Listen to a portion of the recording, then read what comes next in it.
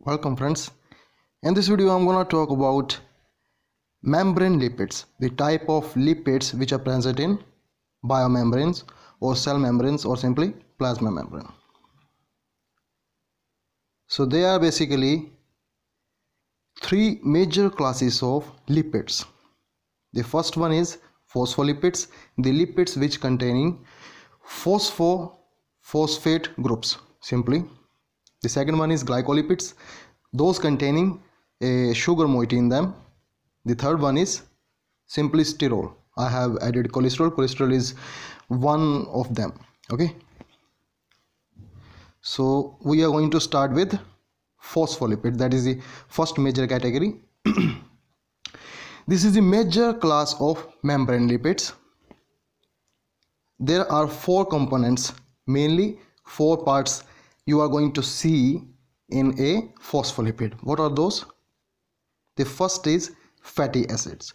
So there are fatty acids present in phospholipid. The second part is a platform or a backbone to which these fatty acids are attached.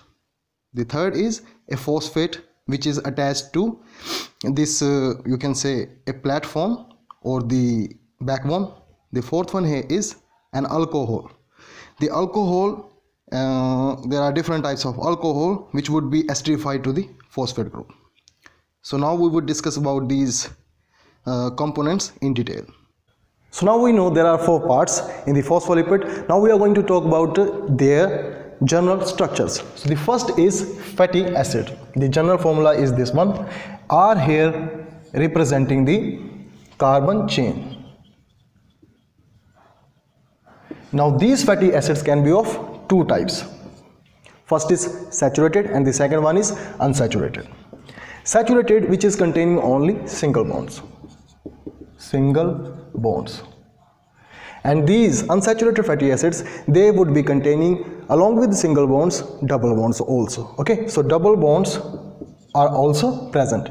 And the degree of uh, saturation and unsaturation or simply say double bonds or single bonds their presence would decide the characteristics property of properties of these fatty acids. But not for now we would discuss all these functions and properties in the in their uh, uh, functional or characteristic part. The second component here is the platform. The platform or the backbone to these fatty acids or other parts would be attached. This can be of two types two backbones can be there. First is glycerol and the second one is sphingosine. Sphingosine. This glycerol is simple not complex. 3 carbon alcohol. And this sphingosine is amino alcohol. So there is the present there would be a presence of amino group along with a alcohol group. This is more complex. So let's draw the structure of this glycerol. This is three carbon compound. So here are three carbon. So this is our glycerol. Okay? And the sphingosine which is more complex than that it is 18 carbon compound. So this is 18 carbon compound. And there is a presence of double bond double bond is there.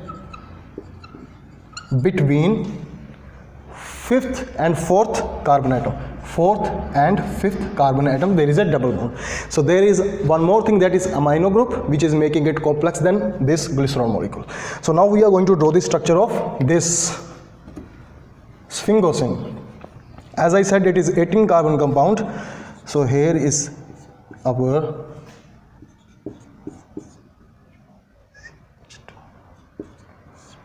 double bond is between fourth and sorry for that.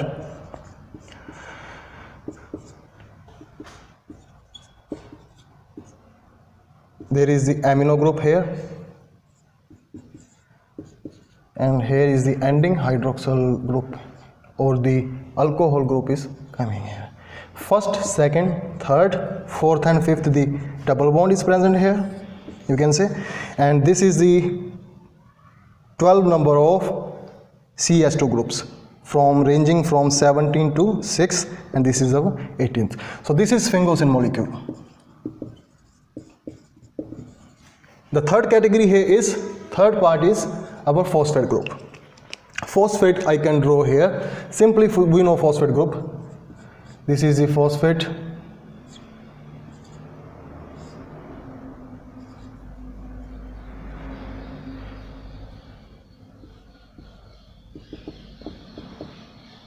minus charge here and this is containing OH. So this is our phosphate to which we are going to attach our alcohols that is the fourth part here. Alcohols I am not going to do the structures of all alcohols because I would do that later. I just name them. First is the important ones. The first here is our serine. The second is ethanolamine ethanolamine the third one is inositol and the fourth one is choline. There are many more but we have to focus only these one because these are important. So we know all the four parts or the components that makes a phospholipid. Now we can draw the general structure of a phospholipid which is containing all these components this is glycerol. So first glycerol which is acting as a backbone or platform to which all these groups are going to be or the parts are going to be attached. The uh, fatty acids two fatty acids at a time can be esterified at the first position and the second position of a glycerol moiety. And these fatty acids can be monosaturated or unsaturated or one of them can be uh, one of them can be monosaturated or other can be unsaturated. So this is fatty acid. R1 R2 designating different fatty acids. Esterified to first and second carbon of glycerol moiety through their carboxylic group. The third carbon here is esterified to phosphoric acid or simply phosphate.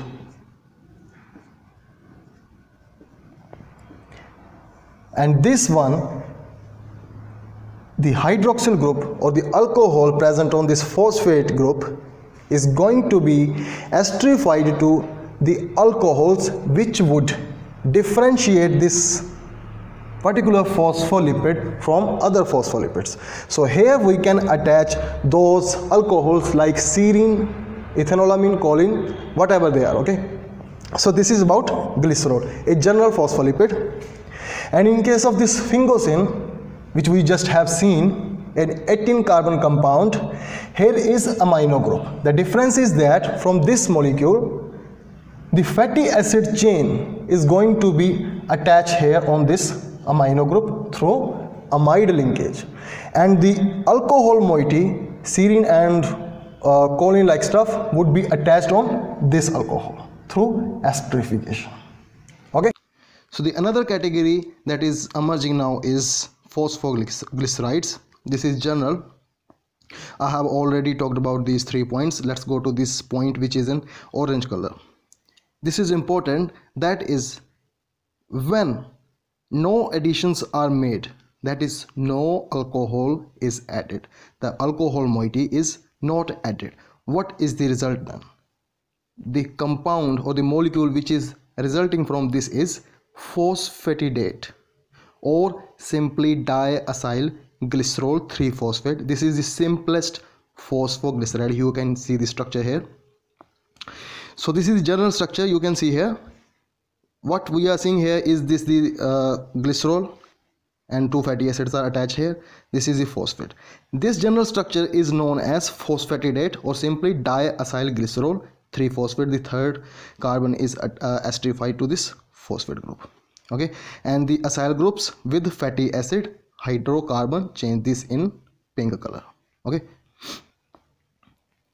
So what more he more here is that only small amount is present in membranes.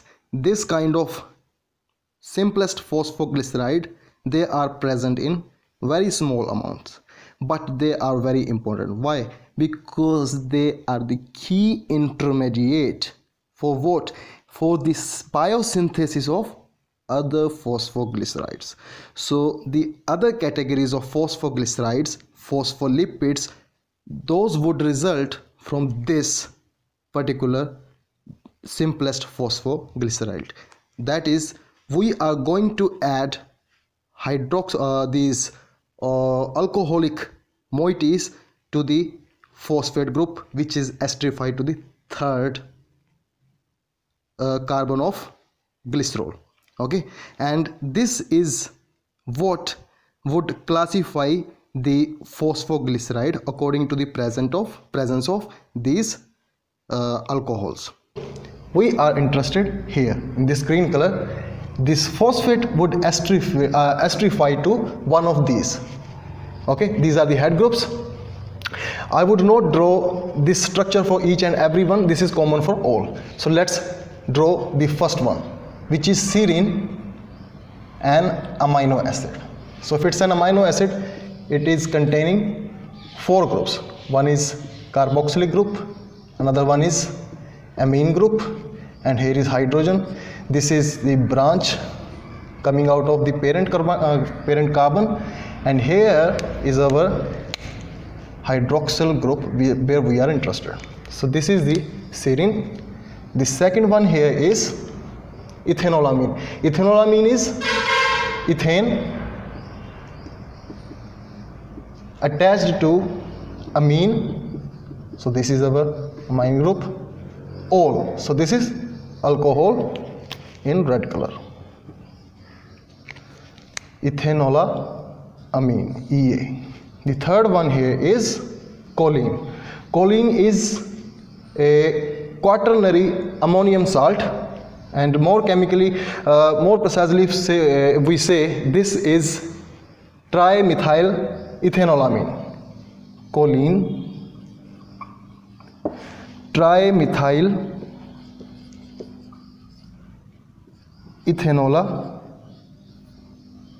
ethanolamine simply so first we draw this C H two C H two four ethane and this is our hydroxyl group trimethyl ethanolamine three methyl groups are attach which are making it different from this ethanolamine and here is our positive charge. The fourth one is inositol which is a sugar. 6 carbon would be there containing hydroxyl groups. First second third fourth fifth and sixth.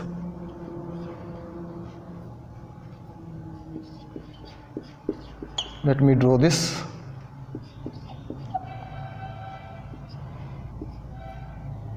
this is here and they are pointing upward. What you have to note here is the charge.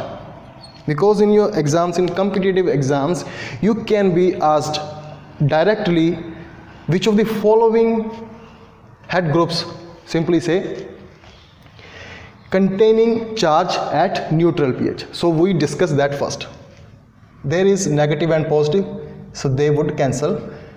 What is remaining? When it is so uh, it is when they are attached to this phosphoglyceride. When it is attached there there is charge of 1 which is minus. In case of ethanolamine this is cancelling with this one so no charge. Charge is 0 okay? In case of this choline what is the charge?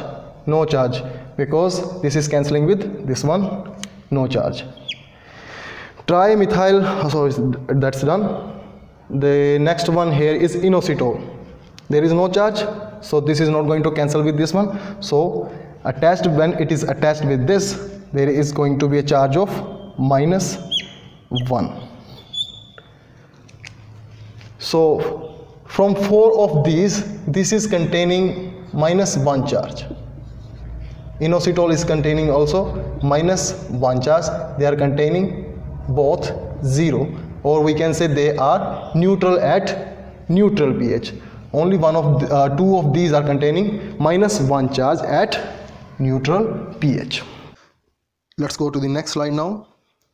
This is about sphingomyelin.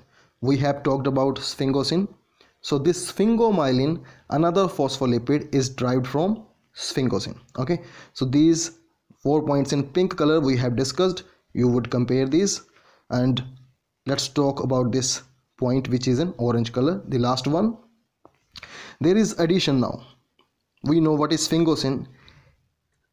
Addition is of primary hydroxyl group of sphingosine is esterified to phosphatidyl choline.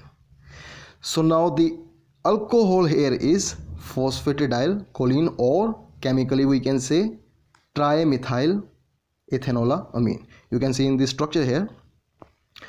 This is the sphingosine molecule, the above one here.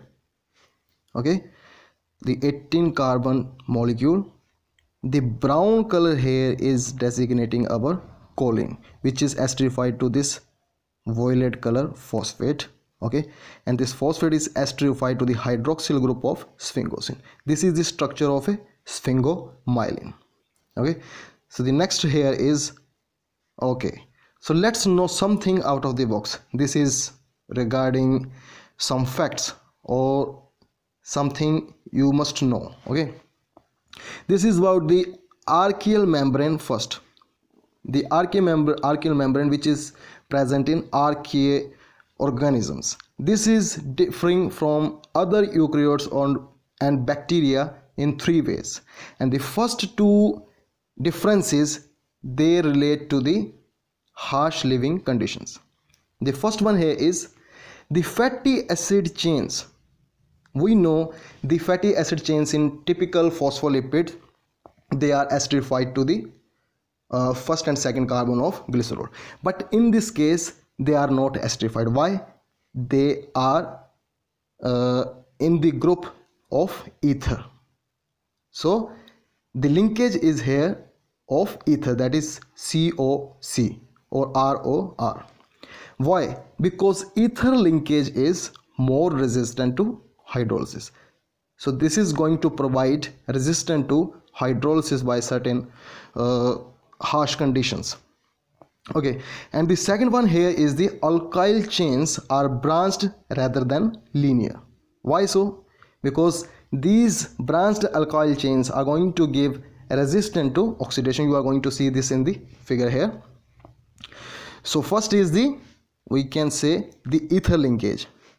Here you can see the ether linkage this one on the here and here so this ether linkage is like this r o r or c o c you can say. So this is c o c okay that's clear. And the second difference here is of these branched chains and in this case also. So this is about the differences in uh, the first two differences.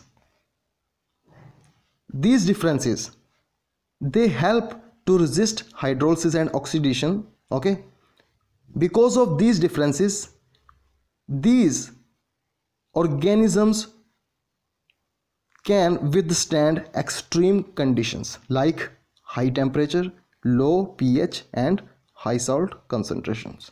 Regarding the third difference it's about the stereochemistry of glycerol. Let's see in the figure. So if if you see it clearly you can see that the stereochemistry is inverted. Why so? Because in other phospholipid the phosphate is present below at here but now it is present here above. So this is inverted. I have shown here in the red diagram this one. So let's go to the next slide now. That is about plasma logens plasmalogens. Plasmalogens. This is another category which you need to know they differ from phosphoglycerides how? At c1 position we know what is the esterification of uh, fatty acid. In this case there is there is ether linkage okay? They are different from the phosphoglycerides which we have just studied in case of archaea because in that case there uh, the fat, uh, fatty acids are both in ether linkage but in this case only one fatty acid is in ether linkage at the first position. And the second position this is same as in the other phosphoglyceride that is esterified to fatty acid or esterification of fatty acid is there at the second position. Others are same. And the third point here uh, we can say about their abundancy they are present in human brain and heart tissue. The functions they perform are a subset of these plasmalogens they function as endogenous oxidants antioxidants. So they work against oxidation. Studies show that they involve in cell differentiation that is the uh, different forms of cells emerging from the parent cells and the signaling pathways.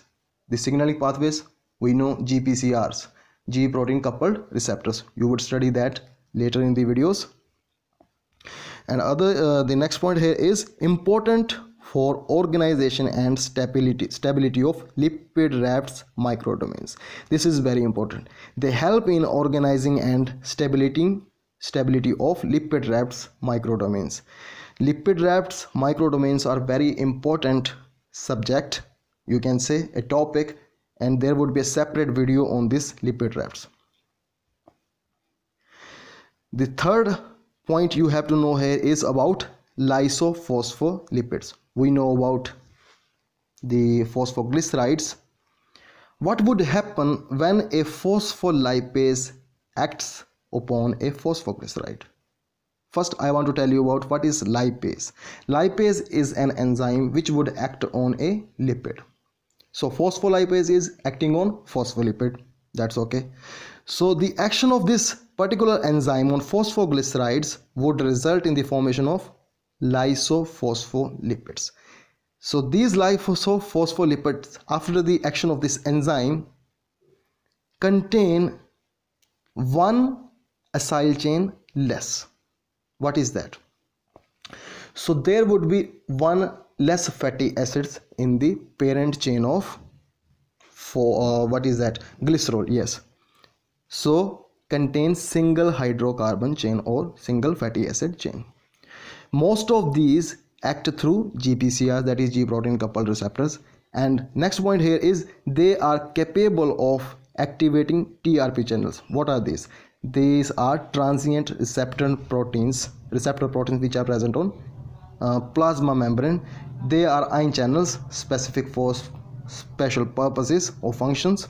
You would study that so let's go to the next slide now. This is about okay.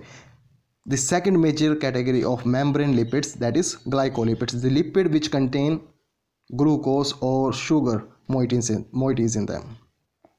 So they contain sugar in them. The second point here is they are derived from sphingosine.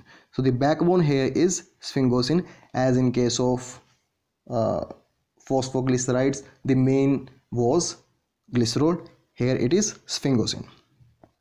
It is similar to sphingo sphingomyelin. We know what is sphingomyelin where the alcohol group is choline okay?